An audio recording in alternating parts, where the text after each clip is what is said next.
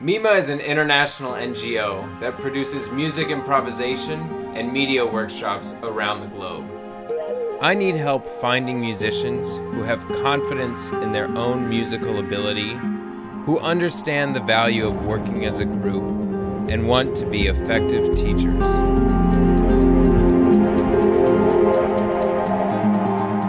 MIMA teaches people how to improvise. Our teaching artists engage kids in the classroom. Our bands host music fundraising concerts. And our envoys travel around the world as musical diplomats. There's a lot of trust involved. There's a lot of risk involved. The true lesson of improvisation is that you can connect with the unknown, and that is when innovation begins.